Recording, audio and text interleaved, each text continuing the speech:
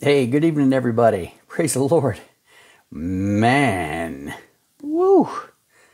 Boy, I'm going to be ready, ready to get to heaven. Get away from all these chemtrails, get away from this frequency, man. Praise the Lord. But hey, God knew the end from the beginning. He knew all this would be here. And so we just, uh, we endure every day. We trust Him with each step that we take. Say, Lord, please help me with that next one. Next step, next breath. Amen. Praise God. Today's the 19th. Today's the 19th of July. And this is the 40th day of our counting, the, Om- the Omer, to the wheat harvest. Amen. 40, the 40th day is when Jesus ascended to heaven. The Ascension Day. That's what we refer to it as, and the Catholic Church really does it. But they do it on the wrong date. They do it on the wrong calendar at the wrong time. They do it in opposition to the Word, opposition to Jesus, opposition to God. Hey guys, don't live your life in opposition to God. That's why we encourage you to read the Bible around here so you'll know the Bible so you can stay in line with it in a loving manner, just to show the Lord, hey Lord, how can I how can I love you today? I want to be obedient. I want to walk with you. Amen. And he'll have that happen. Hey Clay, God bless you, dude. Amen. Hello, beloved friends and true family. You got that right. Hello, everybody. Uh, I love you dearly and uh, praying for you. We're praying for you all along the way. Today, like we said, is uh, the first day of Sean's 48th year. You know, the Bible says, and in his 48th year, that means one day after your 47th birthday, that's your 48th year. And in the 48th year of so and so's reign and whatever. And so I was laughing with him about that. Hey, dude, you're in your 48th year now. Just had his 47th birthday, right? Hey, God is awesome. He's large and in charge. And uh, we're going to go see our uh, dear brothers and sisters in Nebraska, McCook, Nebraska. And uh, so we're here in Kansas right now, ready to get into Nebraska tomorrow and go see them. Praise the Lord. They uh, been my dear friends. Rick has been my dear friend since preteens. He he and his family came to church where my dad preached when we were growing up, and uh, they moved away to from Omaha to McCook, Nebraska. And then I didn't catch up with them personally until our adulthood after he had married Lisa and the kids were here. And so they've been with us five years following in this Bible study. And so we're going to go there, encourage them. Uh, they asked me to come check out and try to, you know, see if, see if we could probably be the pastor at their church and everything five years ago. And I knew better going into it than I ever would. But I was invited to go and I wanted to see my friends and I said, sure. And I got there and they raked me over the coals, man, about my uh, wife leaving me and taking my kid and divorcing me. And you know we're not going to divorce anybody. This is after they grilled me and questioned me and and just put me through it, man. And I wasn't in my John the Baptist mode, you know, you brood of vipers, let's, you know, the wrath of God come down and kill you. I was in the humble pastorate mode and they refused God's guy. They refused God's guy, not knowing God's word. And it was a bad it was a bad deal. A demon possessed dude who wasn't even a member of the church who hated me because of the bible studies before i ever got there made it bad on me man. And he come in with his mouth man and was grilling me and king james version and you know it was just bad news. That was five years ago. And uh, but they have stayed with the bible study right here like you guys have and we're going to go see them uh, i really felt the lord urging us to do this because they're the only ones from my childhood who are still following God and His Bible codes. Everybody else is gone, dude. Everybody else is blown the scene. See ya, wouldn't want to be ya. And they're still here. And the Lord just really put it on our hearts to go see them right here before the rapture. Amen. Get together fellowship. They have nobody. They have zero Nobody. Their church is stupid as a stick. I found that out when I was there. Got no, no idea what's going on with the things of God and pure patriots, you know, my country, tis of thee, and all that jazz. And so we just want to encourage. Clay said, We read the book of James last night, 10 to 20. Thanks for the push. Love that book. James the Convictor.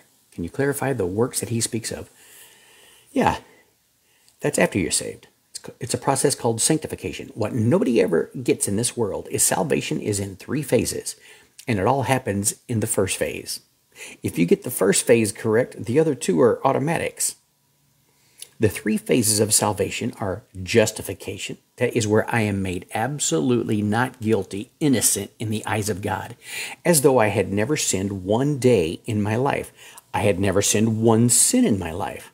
Now, who in their right mind wouldn't want to be justified before God? Found innocent, guiltless of all charges.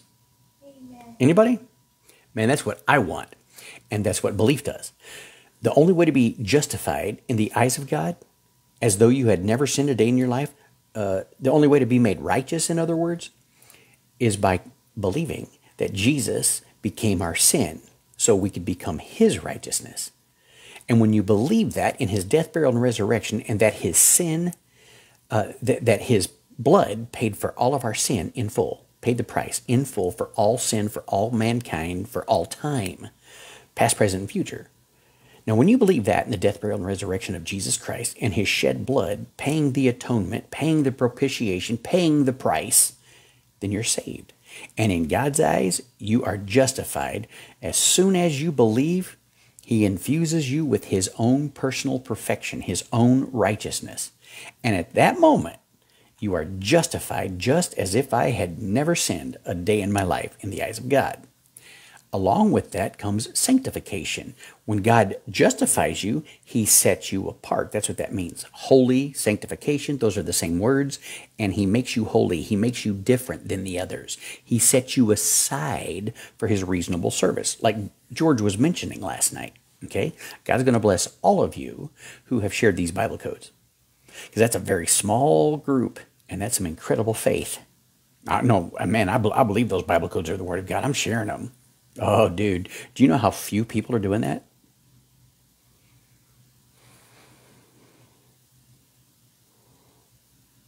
I've got more digits than what's going on there. I encourage you to be a people who are going on with that. So, James is talking about the second phase of salvation. So now that I am justified, why don't you walk like you are? Why don't you walk out your justification? Not to be justified, but because you're, you're justified, you're going to live sanctified. You're going to live holy. You're going to live separate unto God and not unto this world. You're going to be absolutely different because your, your love, your, your level of love is up here and you want to love Jesus back. So you get busy with his word. And so those works James are talking about has nothing to do with salvation. Why? How, how do we know this? The very first words in the entire book my brethren. James, a servant of God, to the twelve tribes which are scattered abroad, greeting. My brethren, he's talking to Christians, dum dums. My brethren, count it all worthy when you fall into different kinds of temptations, knowing this, that the trying of your faith worketh patience. But let patience have a perfect work, that you may be entire and full blown, you be complete, lacking nothing. If any of you lack wisdom, let him ask of God, who gives to all men liberally, and upbraideth not, and it shall be given him. But let him ask in faith, nothing wavering. For he that wavereth is like a wave of the sea, driven with the wind and tossed. Don't be double minded. A double minded man shall not receive anything of the Lord. He's unstable in all his ways. Let the brother in low degree rejoice in that he is exalted, and the rich in that he is made low. For as the flower of the grass, we're all going to fade away. Our lives are nothing, and then you're going to stand before the judgment seat of Christ. James is talking to Christians. My brethren, my brethren, my brethren, my brethren. And if you can understand the three phases of salvation justification, sanctification, and at the end is rapture, glorification when we get our new bodies. The first is your spirit being made alive. Our spirits are dead in trespasses and sins. They're dead. We need someone to come along and resurrect them, save us. And God's righteousness in us, the Holy Spirit in us, connects us back to God, to the Father, as an umbilical cord. We are in heavenly places, seated in heavenly places, thinking heavenly things, walking out the holiness of God through the Word of God at that very moment. Sanctified, we have a connection, our spirit.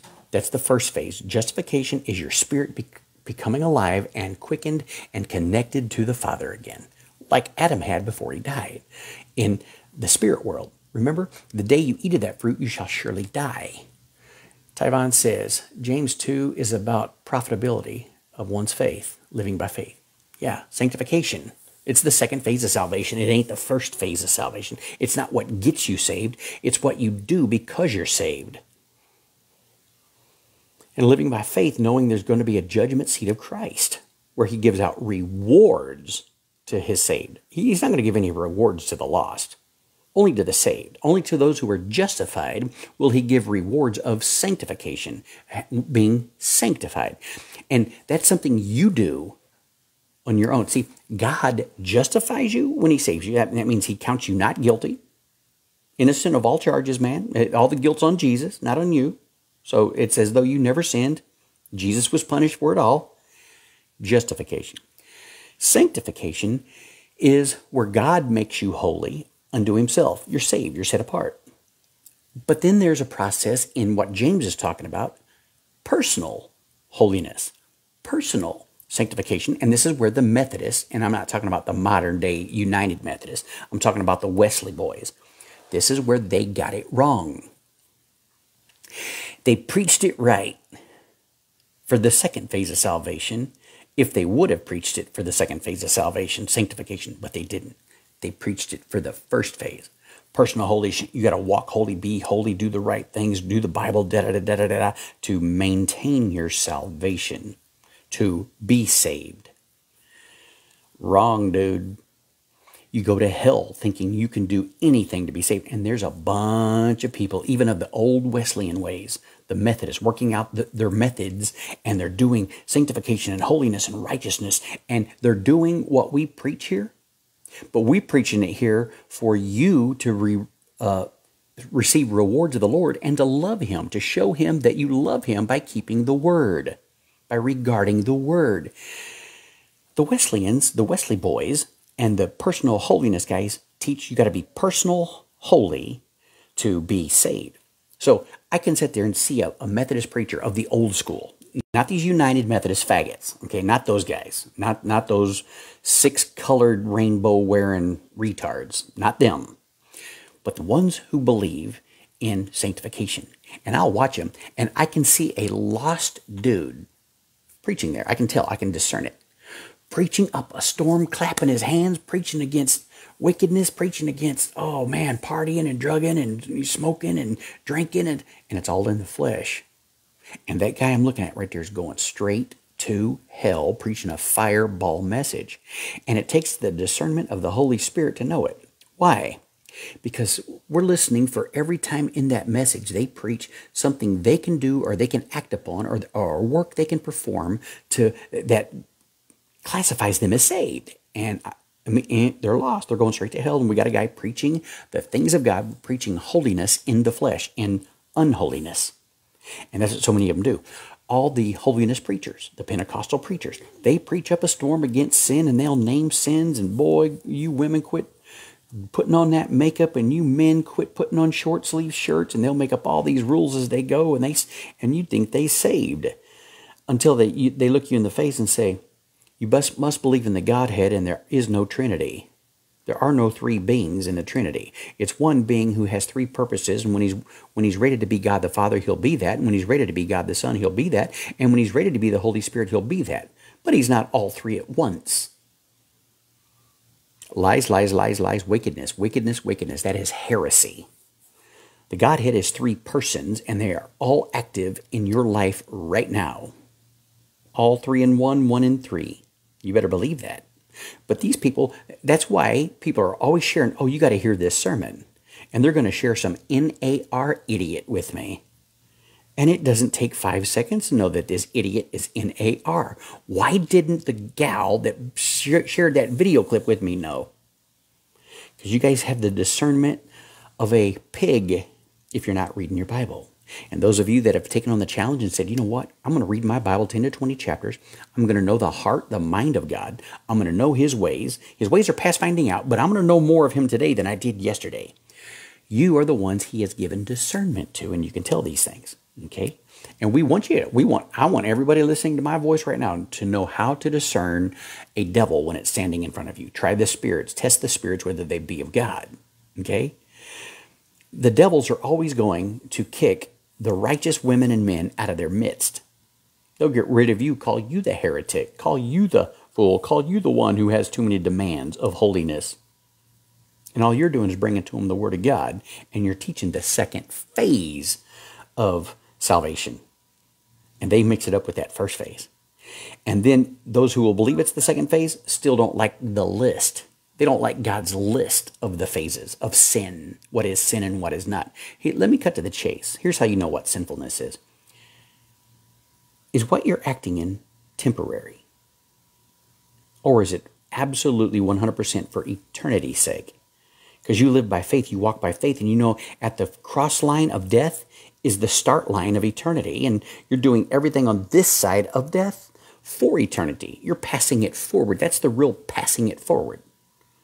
You live by faith. Now, we are, we're also told to lay aside every sin and weight that easily besets you. Not everything in the temporary is sin. I mean, you've got to pay your taxes, you got to go to work, you got to do some things, but you don't have to do them according to the temporary, according to the flesh, according to now. Everything you do, we do heartily to the Lord. Whatsoever your hand finds to do, you do it with all your might to God, to His glory. You're working for Him in His presence. I pray you've come to the place to every move you make, every breath you take, every every every thing you perform, every moment of that thing, you're in the presence of God. You're talking with Him, you're meditating on Him, you're singing about Him, not, not just about Him, you're singing to Him. You, you are acknowledging His presence in your life. I hope you're doing that. I hope that's who you are. I hope that's what you're about, because that's what we're supposed to be about. That's Christianity 101, discipleship 101. And everything that's not for eternity, it's wasted. Wood, hay, stubble, burn up, whether it's sin or just a weight that's slowing you down in what you should be doing. And we encourage you in this Bible study. Guys, we don't have many days, maybe 10. Today's day 40, and day 50 is the Jubilee. It's the cutting of the wheat, putting the sickle to the wheat, the harvest, the wheat harvest, the first Jubilee of Pentecost. And we encourage you to look up, man, because Jesus says you know when it is. It's obvious when it is. And then he starts talking about July, July, my wisdom of July. And we know that's Sean. He was born in July. We know that. And we have another Bible code yesterday talking about July and the birthday boy and understanding that God's closure came on the day of the birthday boy.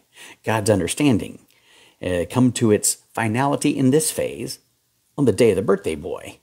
That was yesterday. Okay, so we know we're there, and we're encouraging you to live your life there. Be holy, sit there.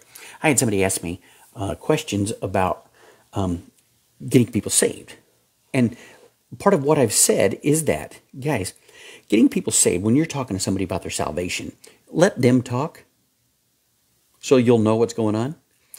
And then you be ready with questions because he who asks questions is in charge. Now, you're not wanting to be bossy and you're not, you're not wanting to be manipulative, but you're wanting to get this person saved because that's your number one, that's the cry of your heart is to get them saved. So what are, what are our questions? What do we say? How do we relate to these people? You always get them back. Uh, you always get them back in the mindset of: Are you going to heaven because you believe in the death, burial, and resurrection, or are you a Baptist? Are you going to heaven because you asked Jesus in your heart? Now, which is it? Because asking Jesus in your heart will not get you to heaven if you aren't placing your faith in his death, burial, and resurrection. Hey, why are you saved? Well, because I asked Jesus in my heart. Okay, let's ask another question. What is your faith in? Why, when God says, hey, what makes you think you can come to my heaven for eternity? What, what are you going to say? Oh, I asked Jesus into my heart. And he'll look at you and say, which Jesus?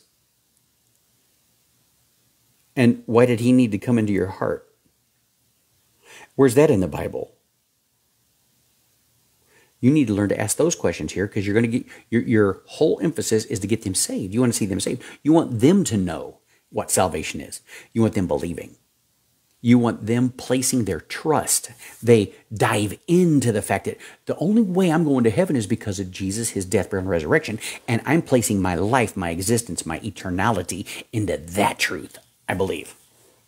And that's what you want them to do. You want them to believe and get it. You want it to get a hold of them. You want to set the hook of truth and get it back. So you, you ask them questions, you get back to them, always coming back to what do you believe? I know your preacher preaches this, and I know you said this, but what do you believe? Can you tell me quickly what you believe, how a person go, goes to heaven? If, if I were lost and you knew that I was lost, and I come up to you and blew your mind with this question, hey, dude, can you tell me how to get to heaven? What would you tell me?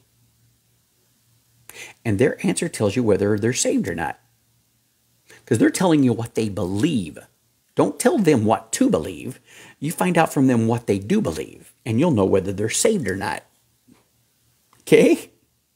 Now, if somebody tells you, hey, uh, I'm saved because I believe in the finished work of Jesus Christ, his death, burial, and resurrection, man, and there's no other way I'm going to heaven other than that, you can say amen, but you still aren't sure whether he believes that or not. He may know how to parrot that he may know how to say that to make you happy because people pleasers want to make everybody happy with the right answer. They'll answer you one thing and the next guy another thing and the next person another thing. So just because they answer the right question doesn't mean they believe what they said they believe. Okay? That's why we're not to judge no man. We don't, and, and that means don't judge them as saved. Don't judge them as saved. Now, we go on with what people say. And then I'm sitting next to you, man. Uh, I was asked a question when I was interviewing to be a cop back when I was an 18 year old kid, 19 year old kid. And he said, What are you going to do when you're called to a, a scene, a break, a break and an entry? It's a candy store, and you walk over, and your fellow officer reaches over in a bowl and starts grabbing some candy and starts eating it at 2 o'clock in the morning with nobody there. What are you going to say? Well, the answer is Does his mom and dad own the store? Does his aunt and uncle own the store? Uh, what's going you need to find out the story before you come up with an idea and judging the guy why he's eating candy. He may have purchased that candy already in his family. Okay? So when you see something, when you see somebody doing a bad deed, don't judge them and when you see them doing a good deed, don't judge them. Don't misjudge somebody inappropriately. You judge them according to scriptures. What does the scripture say? And that's why we want you reading 10 to 20 chapters every day. That's why we want you knowing these Bible codes. Because the Bible code tells you if you know the Bible code, you will be right with God here at the end of days. The Bible code says that. That's why we are so adamant and we're on fire with you getting to know these Bible codes because my heart is that your heart will be absolutely 100 in line with Jesus and you'll love him with all your heart, soul, mind. Adrian says, Hi, my family. And Lila says, Hey, family. Hey, hey, ladies. Love you very much. God bless you. Glad to have you with us tonight. Why don't we look at a code here? So, the three phases of salvation class, what are they?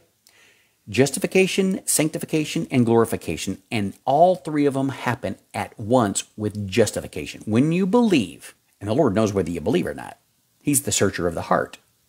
And He knows whether you believe in His finished work and you've placed your entire faith in that. That's the only way I'm going to heaven. See, you can't see Him from a distance. Most of the bums out on the street, the drug addicts and the alcoholics, are saved. And most of the people in the church are not. You can't tell by looking at them. Those boys that dress up like Trump and talk about God ain't saved. He's talking about Apollo. He's talking about Satan being his God, Mammon. And we'll see here shortly who's who. What a wonderful situation we find ourselves in with this whole assassination deal, dude. It's more than assassination attempt. It's going to be a, a assassination with a follow through because the devil intends for this guy to die. Because Satan is a double crosser. You and I, we're the single crossers. We look to Jesus, the cross of Calvary. And the devil wants to double cross you in that, bringing God into the mix. Holiness. And there's only one holiness that's the holiness of God. And when you have the righteousness of God at salvation, your spirit is made alive, then your soul is activated and becomes alive and more like the soul is you that that person that you are that makes you different than me that's your soul And your soul, my soul, needs to be conformed to the image of our Lord Jesus Christ. The only way to do that is look, like James says, into the mirror. You got to look into the mirror of the Word and let the Word reflect itself and you reflect it. You do what it says. The Word ain't changing. Okay? So we let the Word of God be our mirror and we adjust our looks, our life, our actions, our activities according to the mirror of the Word. Okay?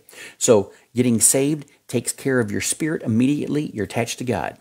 Then it begins the process of taking care of your soul. Now, people can be saved and still act like the devil. People can be saved in sin. People can still be saved and act in opposition to Scripture because they don't read it, they're ignorant of it. Okay?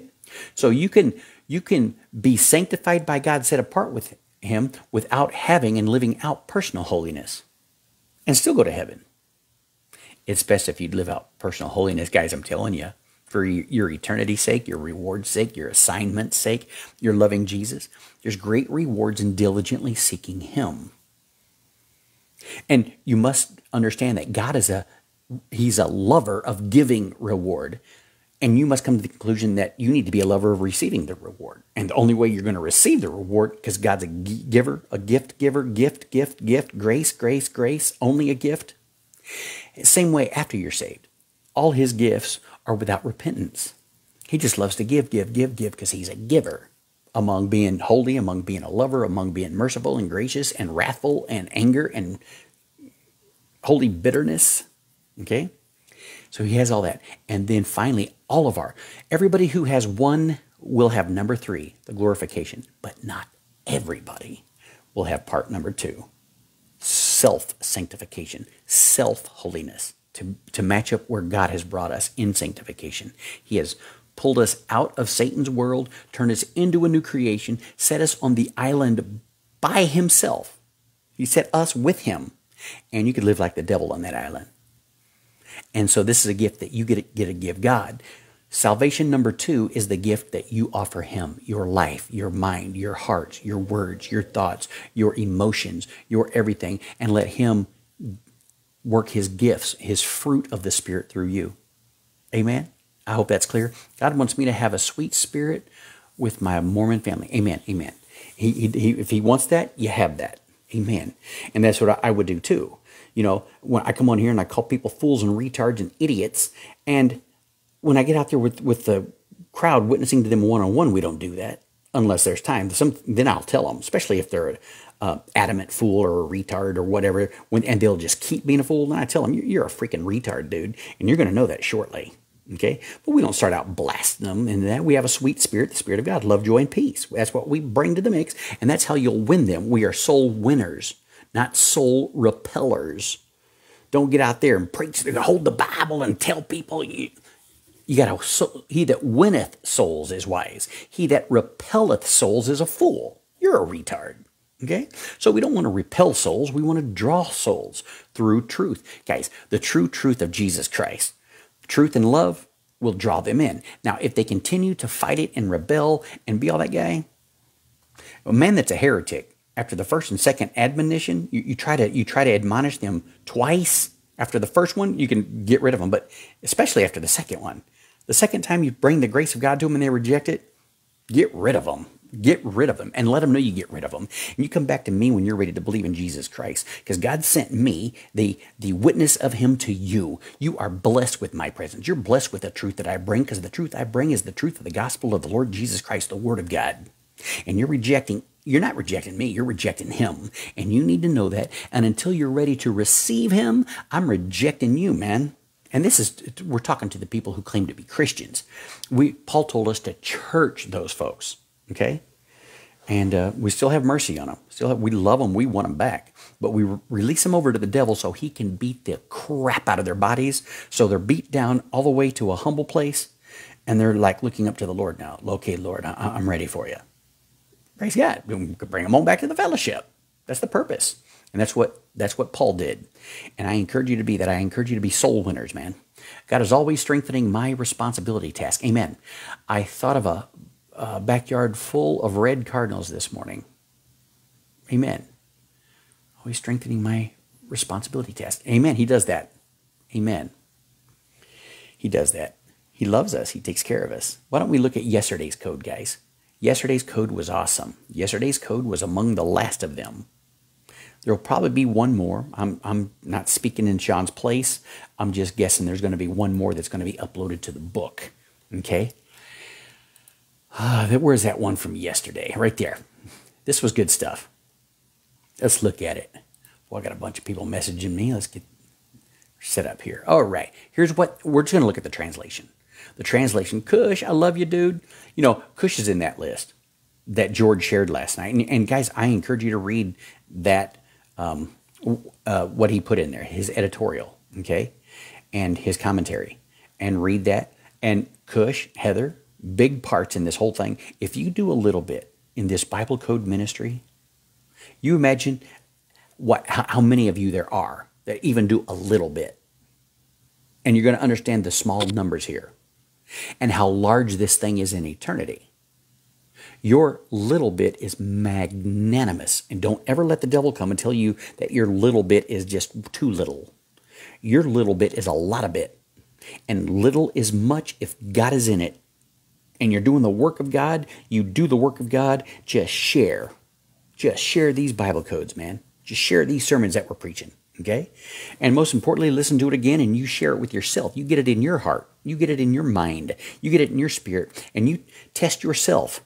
I am saved. Okay, I believe in the finished work of Jesus Christ. We're not going to let the devil take that from me. Once saved, always saved. Now, am I loving you, Lord? Am I doing what you want me to do? Have I have I drop kicked everything? Have I flushed everything that doesn't belong? I got family members who love Auburn University. And I hate Auburn University. I hate everything about them. I hate I, I begin with their education system and then straight to their sports. Fly War Eagle. I hate Alabama. Alabama, guys, is a pincushion, a voodoo doll for Obama. Every time people say Bama, Bama, Bama, Bama, Bama's going to do this, Bama's going to do this, they're talking about Barack Obama. He is the crimson tide. When he starts cutting heads off, there's going to be quite the crimson tide until Jesus turns he and his army into the crimson tide. That 200 mile river of water, the river of blood, adrenochrome blood, Okay? That whole roll tide and crimson tide is a thing of the devil. I hate that, and my family don't get that. They think I'm coming against them. Oh, I love Alabama. I love the War Eagles. God hates them. I'm going to hate them right along with him. And we're going to tell you to flush all that stuff. We're going to tell you to flush your favorite team. If you at this very moment do not absolutely abhor, hate, can't stand your once favorite team that you rooted for and cheered for and acted like a retard over, you don't get it. And we're encouraging you to get it. We're encouraging you to get rid of your idols, get rid of your foolishness, to get rid of your strange clothing, your strange apparel that God hates. All your uniforms, your hockey jerseys, your football jerseys, you, all the pictures I had in football jerseys. What a fool, what a retard. Years and years and years of it till God woke me up 12 years ago. 13.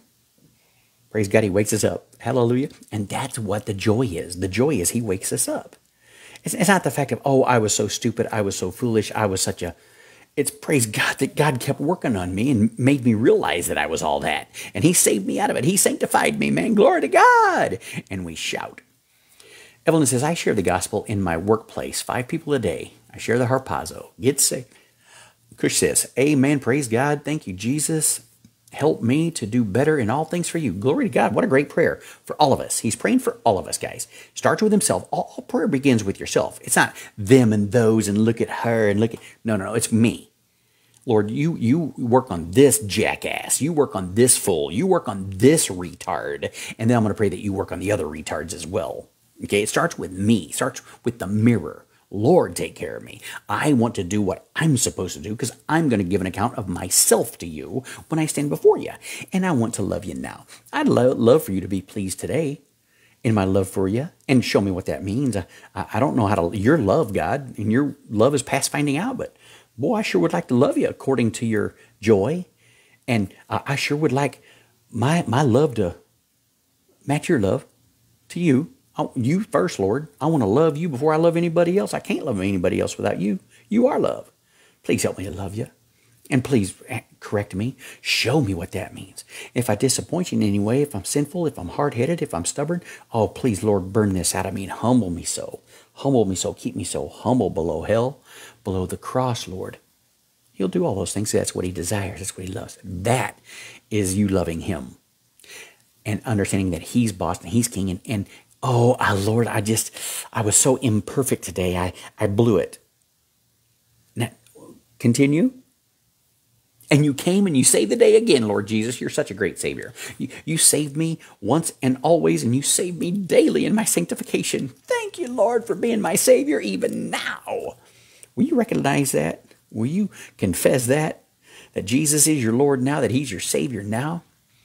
BYU is a corrupt college. Oh, oh yes. Yes, they're all corrupt colleges, bud. If, if they're a university and they're accredited university, they are of the devil. Th- this is nothing more than a devil's den. Because what is the devil? He's a liar and he's a thief. What is the college? They thieve you hundreds of thousands of dollars to teach you lies. And you pay for the lies. Oh, Tyvon says, Man, one thing I struggle with is assurance of salvation. Sometimes it comes up and it's down. Yeah. Uh, God's word never changes. What I need to do is just focus on Jesus. Yeah. And just believe it. And, and just stop thinking about it. You've got to stop progressing in that thought. You got to stop and say, okay, and cut and start preaching to the devil. Start preaching him your favorite sermon of once saved, always saved. I'm saved and you're not. I'm going to heaven because of the blood, and you never got the opportunity. I'm a human. Jesus became a human. He never became one of you bastard angels to, to save your bastard selves. Oh, dude, the devil's going to flee, man. He's going to stop putting that uh, unassurance in your heart, and you're going to bring solidity and solidification into your soul through believing and preaching the truth. Preach out loud. Faith comes by hearing. And I encourage you to do that. I encourage you to get on the pulpit. Don't turn on your don't turn on your record button, just you and the devil. And any devils that want to mess with you. Any of you still listening? Have, or have you all run off yet? Shall I continue? I'm going to continue. And you keep preaching truth and you shout joys and you shout hallelujah. If it's love, joy, and peace, the devil hates it. Bring him love, joy, and peace. Get him out of your mind. That's the battlefield. He has no weapons there, guys. He only has lies in your mind. And if you can think like he wants you to think, he wins. That's what BYU is all about. That's what all these colleges are all about. As soon as you can think like the devil and, and you really think like him, he's got you. And he loves it. But if you come out of that, come out of her, my people, come out of Babylon, come out of that wickedness, and you start preaching the Bible, believing the Bible, understanding every word of the Bible, reading it every day out loud, if you'll read the Bible codes out loud, record yourself and just hear it. Listen to these sermons. We read them out loud every day. Put it on double speed, however fast you can get through it the fastest and comprehend it at the same time. Make sure you comprehend the speed you're at. Okay? And get through these things. Listen to them. And God will encourage and strengthen you. Because Jesus, he, he either saved you or didn't. And we got to come to the conclusion that he did. He's, he, he paid the price for all the people in hell. Okay, dude? That's how much he loves them. That's how much he redeemed them. That's how much he died for them. That's how much he saved them. That's how much he was dead, buried, and rose again for them.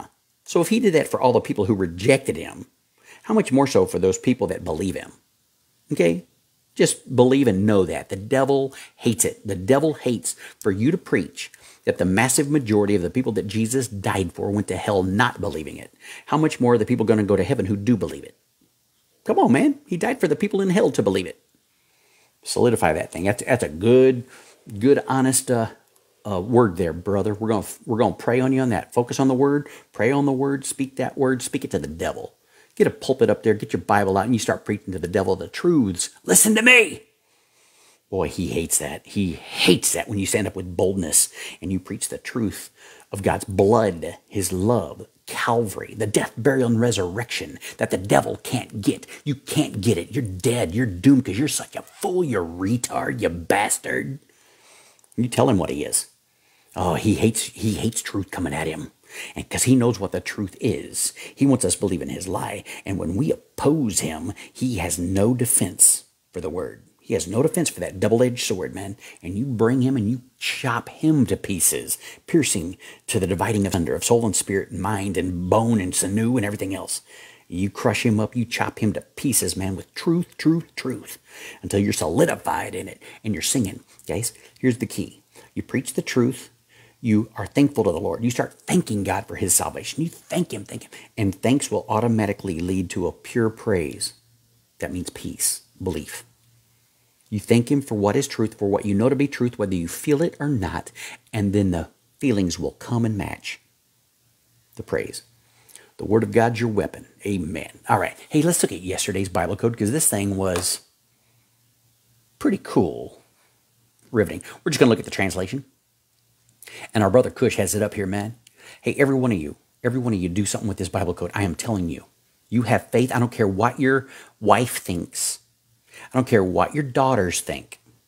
I don't care what your brother in law thinks. I don't care what your grandpa thinks. And you need not care about any of those things. And you need to get busy with this Bible code, believing it in the spite of all those oppressors.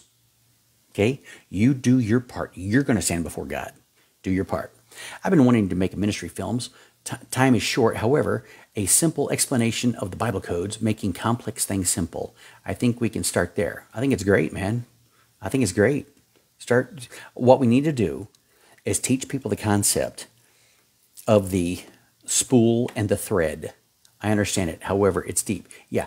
And the, and the simplicity of it is all the Bible code being in one word a rope. Grab a rope, grab you a cylinder of sorts, a spool, and begin to wrap that rope around that spool single as it as it goes up each time you wrap it around. And at the bottom wrap it around and teach people that this is how the bible code is developed. That's what those red letters are. Each time it wraps around it they land on top of each other. Then uh, the cross section only the front section usually is cut out to a degree at where the code stops where sean knows it stops at. And that becomes our borders. Beautiful. I try to explain it and people look at me with square eyes. Well because the blind can't see the blind can't see. Are they justified?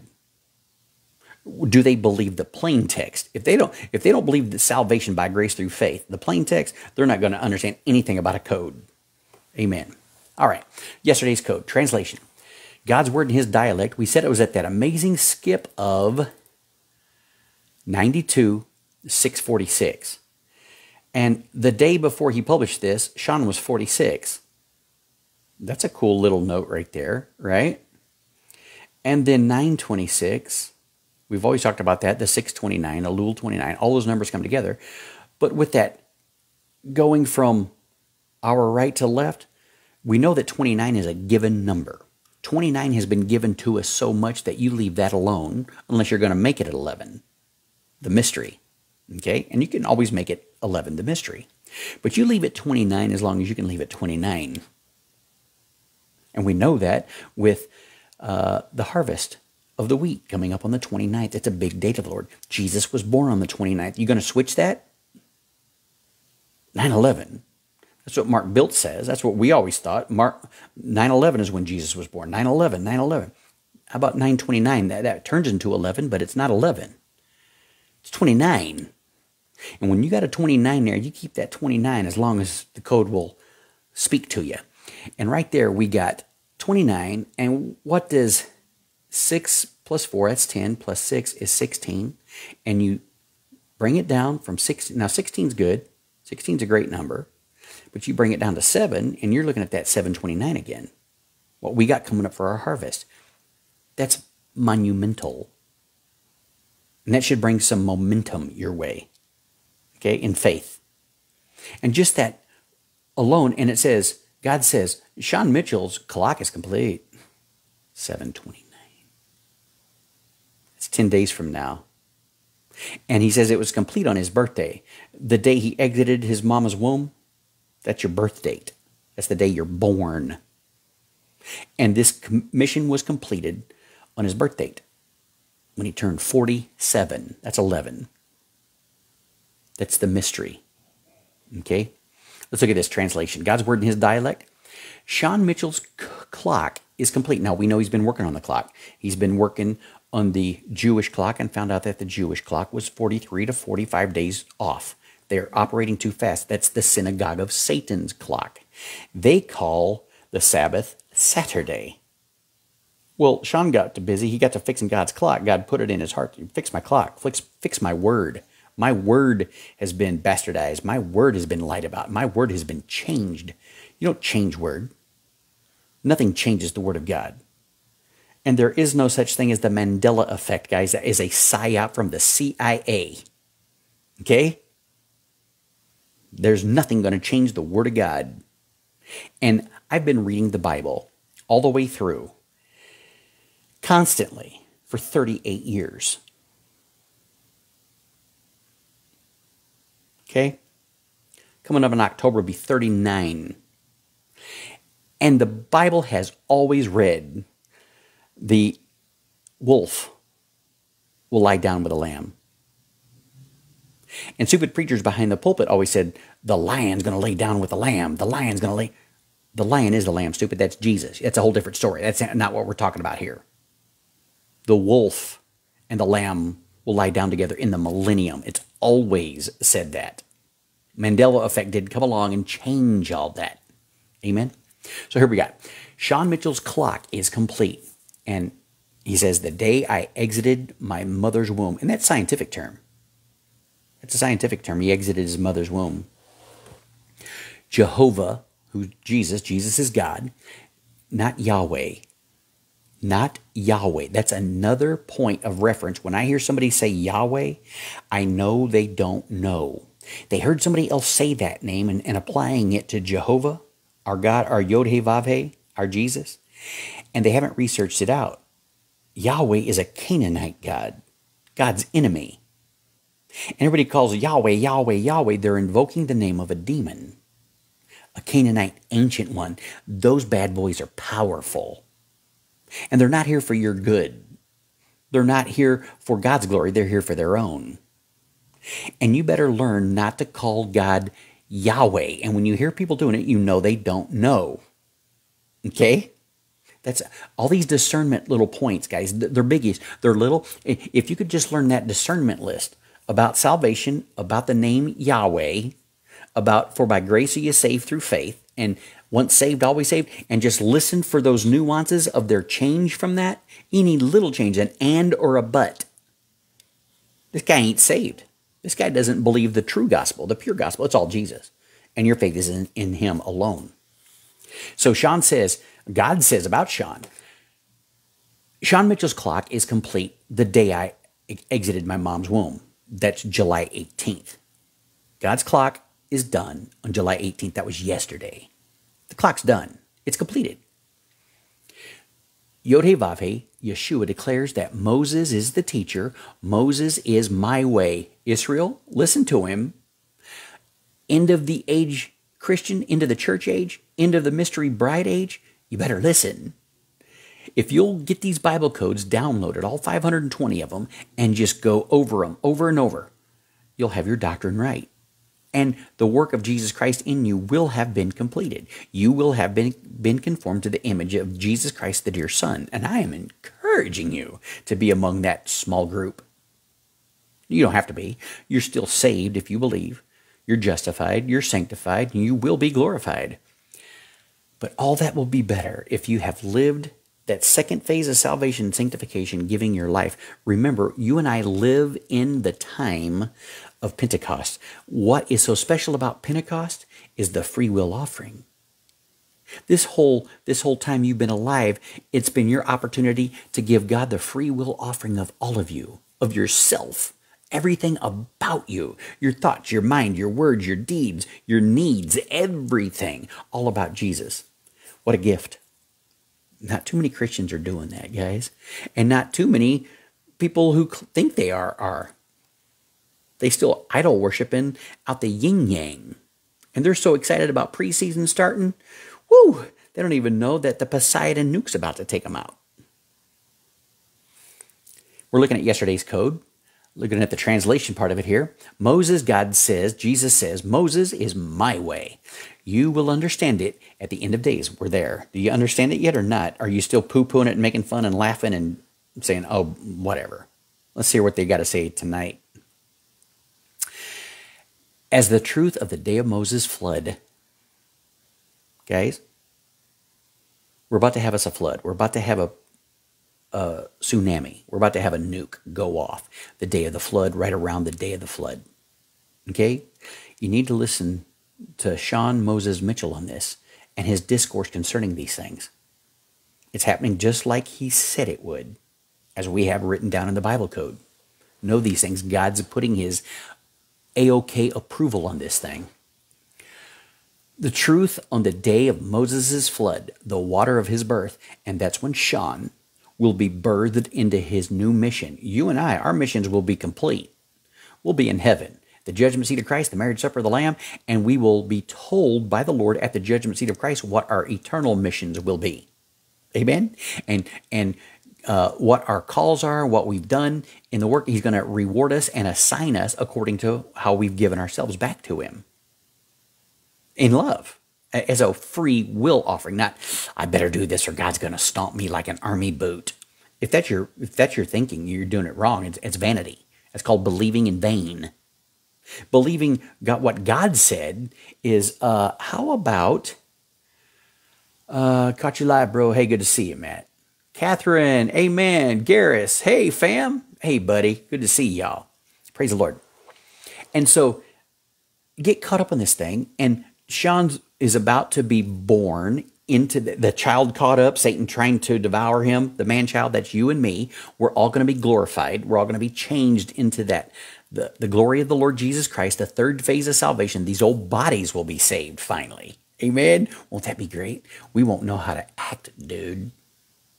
With no negatory, no sin, no doubts, no anything that comes from the devil and the flesh. It's all going to be glorified and heavenly, man. God's going to bless us in that. He says, and so as the truth on the day of Moses' flood, the water of his birth, that big flood, tsunami, is the time that we are all given our glorified bodies. He's given his glorified body and sent back with the other guy on their missions to do God's word for work for the next three and a half years. Okay?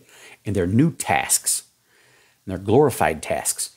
Jehovah Yeshua, uh, Yeshua declares it complete now, if Jesus declares something, you're going to go with that, you're going to doubt it, you're going to roll your eyes, go, oh boy, there they go again. You better believe that God wants his word here. He wants his word in his dialect here, and he's going to preserve it here. And whatever he has said in this thing is what he has declared.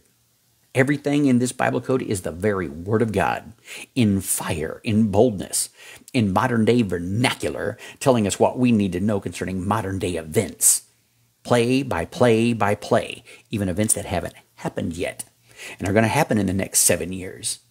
God's got it here. He said, I've told you, I've sent my prophet, so you'll know that when they happen, that there has been a prophet in your midst, and he told you so. He told you so. Jehovah Yeshua declares this calendar complete. Sean's job is done. What does that tell you, folks? There's nothing more he needs to do that I know of. I thought that about, you know, two years ago, but I'm thinking it's complete. He just declared it complete, the calendar. Is there anything that you can think of that needs to be fixed by Sean before we go? Because I'm thinking it's done, man. Amen. Says, the man of signs is accessible. He's accessible on this side, and he always was. He's been accessible for 10 years eight years, especially, getting these codes shot out on Facebook, on his uh, group page. Interesting. The parallels between a mother's water breaking and the births the baby and the water event right at the rapture. That's what it is. And that's what God was showing us seven years ago with the Revelation 12 sign. The child being born, caught up, and the devil waiting to devour the man child. That's you and me, and especially Sean. The devil does not want Sean coming back to this earth glorified, indestructible, indisputable. Nobody can dispute him. He's got the word of God. He's got the fire of God. He'll kill you with that same fire if you try to dispute. You try to come at him, dog. The devil doesn't want this to happen. He wants him dead before he's glorified. He wants us all wiped out before, because we're going to receive our assignments that come back while he's locked up in hell for a thousand years. Then he'll be released and then we'll still go on with our assignments for eternity while he's, you know, in hell. And so he is miffy. He doesn't want to go down alone. That's what this whole marker of the beast is. I'm taking away God's creation, those made in his image, and I'm going to make them in my image, and they're going to come with me to hell. It sounds like a great plan, don't it? All you 666 heavy metal idiots, you fools, you idiots, you, you diaper wearing retards. Get the bottle out of your mouth. Get that thumb out of your mouth. And why don't you hear us and believe, man? Amen. Uh, it's time. Wow, I believe what God. I totally missed that. I totally missed what Kim said. Sorry about that. Uh, the CrowdStrike worldwide server outage should be a big wake up call on how quick a structural collapse can occur, uh, occur in society. The rapture will begin uh, the real collapse. It sure is. It sure is at every level. The money collapse, the computing collapse, the food collapse. I mean, the collapses are here. It's going to be an ultimate, uh, ultimate devastation here in the United States for sure. Worse than a third world country. And Josh says, "Man, I'm with you, sister." And I guess I am too. Praise the Lord. Sorry, I missed that. I'll have to go back and read the notes. We'll go through this again, man. We'll call it a night. I didn't plan on taking the whole night, but I did want to take the night and share the gospel. Understand the gospel, the death, burial, and resurrection of Jesus Christ. Your faith place in that. That's the gospel.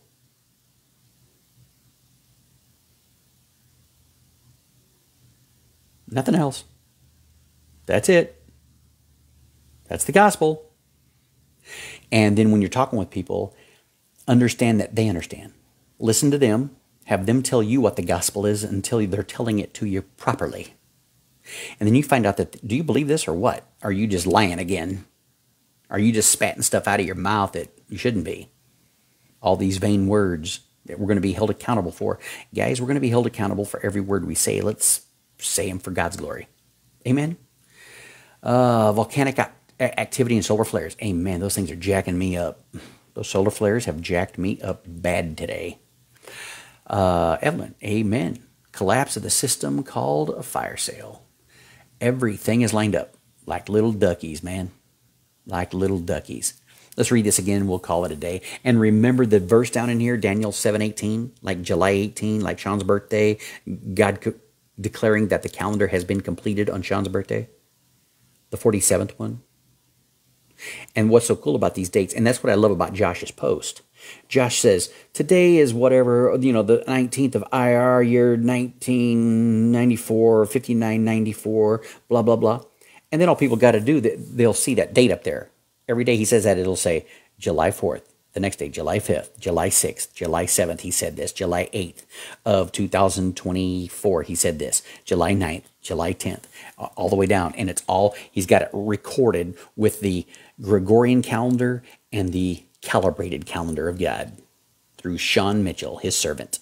Boom, boom, boom. And what did God say? Yeah, my calendar's done. So I'm thinking the non spoken words of that are so why don't y'all just come on home? He's done his task. The child needs to be born. We need to send him back in his new job, newfound glory. Amen. Uh, that salvation explanation was so helpful. Good. Uh, everything's lined up. Hell uh, lies in a dark place of pain and fire. Yep, yep, absolutely. Absolutely. All right. Sean Mitchell's clock is completely, completely fixed. It's completely completed. Uh, the day he exited his mom's womb, the birthday, this 47th birthday. Yod He Vav Jesus declares that Moses is the teacher. Moses is my way, says God. Please let this be true in your heart. God declared it. What you going to do? Undeclare it? Deny it? Scoff it? Laugh it? I got people I never thought would be scoffers in my world who are the scoffers in my world. And they don't think they are because they're self righteous, because they don't believe the Bible code. And you're not going to believe the Bible code if you don't believe Moses. You better believe that God says that Moses is my way. If you go opposite of Sean Mitchell, and you go opposite of Moses and the work that he's done in this Bible code, you're going against me, says Jesus. Scoff away. Scoff away, dude. You got to know that Moses, Yeshua says this, declares that Moses is the teacher. Moses is my way. You'll understand it at the end of days. Please understand it. You're going to understand it as the truth on the day of Moses, the flood. You're going to understand this at the rapture. You're going to understand every bit of what we said was true at the rapture, the water event, the water breaking, and the child being born. You're going to get it. The flood water of his birth. Yod He Vav that's God's name, Jehovah. Yeshua declares it complete. It is finished. The man of signs is accessible right now, guys. Everybody's without excuse. July 18th is my watchmaker's life. Boom. From day one until day year 47, day one. The life of Jesus Christ, the life of truth, the work that he's done with his hands, the wonderful, miraculous wonder skips, God's awesome Bible code, God's genius, God's understanding, and his wisdom put place in the, this man for our, our sakes. You better believe. The man is uh, of signs, that's Sean. He's accessible. Right now, you can get to him, and they'll be able to get to him in the trib. July 18th in my watchmaker's life. And then God gives us that Daniel 7:18 verse in there just for, you know, awesomeness. Because Sean is the second Daniel. Daniel sealed them, Sean unsealed the word. I mean, come on, bro. Come on, bro. It all lines up. Who was that? Gareth said that? Everything is lined up. This is too. Go with it. I'm looking for Jesus to come rapture us anytime between now and the 29th. I'll start with that, and then if we need to go from there, we will. But I'm looking up. I encourage you to look up, man. Let's pray. Lord Jesus, we love you. I thank you for all your ministers, your men and women here, your boys and girls, your bride. I pray you'll encourage them. I pray that you'll solidify the faith of your scriptures in our hearts. May our hearts be concrete, your word, and keep us from wavering like a wave of the seas. Keep us from being double minded and give a single mindedness. Give us singleness of purpose. Get all the other garbage, the earth, the flesh, the world out of us so we'll quit being unbalanced and to be absolutely balanced and, and right there anchored in your word. Thank you for being our anchor. Thank you for calling us. Thank you. It's amazing. It's amazing that we're here and that you've called us. And I pray for all your ministers, all your servants of righteousness and truth who've you put together here at this time in this day for this purpose. And we just come for this purpose to praise your name. Thank you for bringing out, us out of darkness into your marvelous light. Thank you for having mercy on such losers like us, on people who have never once deserved your graciousness, your gifts, your salvation, your holiness, your works, your wonderful sweet touch. And yet you've given us all that plus a whole bunch more. Teach us to number our days and to count our blessings, Lord. We praise you. We pray for Sean that you'll help him as he's putting everything else. He's got your calendar to completion, but as he hits that last upload on this book to be it all complete, all ready to go, and bless him in that. Bless him with wisdom, bless him with energy, bless him with uh, signs that direct his steps, man. And for your wonderful word in his heart. Bless him. Bless all these people as we read your word. Keep us faithful at, at that daily. Just hearing your, your word, your voice, and uh, understanding your codes your word and your dialect. We praise you and we thank you. And uh, thank you for this crowd. We praise you in Jesus' name. Amen. Amen, guys. Amen, says Brother George. Good to see you, buddy. Cush, man. God bless everyone supporting this ministry. Amen. Thank you, brother. Thank you, Sean. Thank you, Johnny Boy. Amen. Jenny says, Amen. Adrian, she says, Amen. She's a servant of God. She's on that list, serving every day, you know, sharing, sharing, getting the gospel out there. Safe travels, JB and Mimi. Amen. Sweet fellowship with the beloved brethren. Praise God. Looking forward to that. Uh, they have nobody in their town, and I have nobody in mine. So it'd be good to travel a ways to hug next to somebody of like faith. Amen, amen, amen. I've got all these amen shooting through here. I can see one, uh, Catherine says, Amen. I'm so glad to see you, sister. Evelyn, thank you, Pastor JB, for encouraging us every day. Matt says, uh, I've known Johnny since he was early 20s. That's right. He was in my youth group in Wilmington, North Carolina. Amen. And God had me come across his way. He, he come across my way to get us together and connected even at the end of days. We were disconnected for a long time. And here recently in the last couple of years, God's brought us back together, man. And we've both gone through some hell and back. And here's God. Here's God saving the day, taking care of both of us. Praise God for that, bro. Now he's an adult man with children and adult problems, and he needs our prayers just like we need his. Amen. Aaron, Sister Aaron, says, Amen. Cush, God bless you, Brother Matthew. Amen, Matt. God bless you, dude. Thank you, Brother Sean, Brother Cush, Brother George, all here, says Evelyn. Matt says, I was 14. He sure was. Sure was. And uh, now at 46. How about that? Sure was, man. I praise God for that, buddy. I praise God you're still here. Believe in the finished work of Jesus Christ and that alone. Share it with others. We about to get raptured here, buddy. And I ain't I ain't looking past 10 days, folks. Anybody on here looking past 10 days? I mean, we we we can. We have 153 days to look to, but I'm not looking past these 10 days. Kim says, Matthew asked a question a ways back. Uh, showed up in my driveway a couple times in the middle of the night, too. Amen. Amen, dude. Amen. That's what we do. That's what we do. We, we love our we love our brothers and sisters, and when they when they in trouble, we show up. Amen. We're there for them. Hallelujah. Praise God, dude. That's right. That's right. God's good to us. We're good to each other. Amen. I love you guys. By God's grace, we'll see you 726 tomorrow night. Uh, Matt says, I asked about the Gregorian calendar offsetting the true date. Yeah, uh, and Sean's got that all that worked out. Uh, the last thing he uh, worked out was the 360 day prophetic calendar of the Bible. And we see that in the book of Daniel, and we see that in the book of Revelation, where God gives us day counts. And he calls 1260 days, he calls that 42 months. So you take 42 months and divide that by 1260 days, you're going to come out with 30 day months, which is a 360 day year calendar.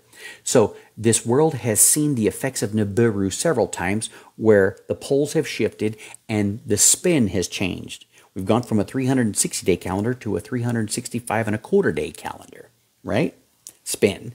And so the earth's going to flip two different times by the time Jesus comes back, and the second time he comes back is going to be set perfectly. And this clock that Sean has put together is going to match that. It's going to match the corrected, what, what they say the Jewish calendar, but it's the world calendar. Because when you see Josh put up those dates every day, it's the world count since the world was created was 5,994 years ago. And this is the month Iyar and whatever date it is. And so all those things are going to click like gears, man, when Jesus comes back, when it's final. Sean's done his part that he needed to do on this side, and Jesus has declared it complete. The Gregorian calendar is a sham because the Gregorian calendar has all of God's dates at the wrong date, just like the Jewish calendar does. God refers to them as the synagogue of Satan.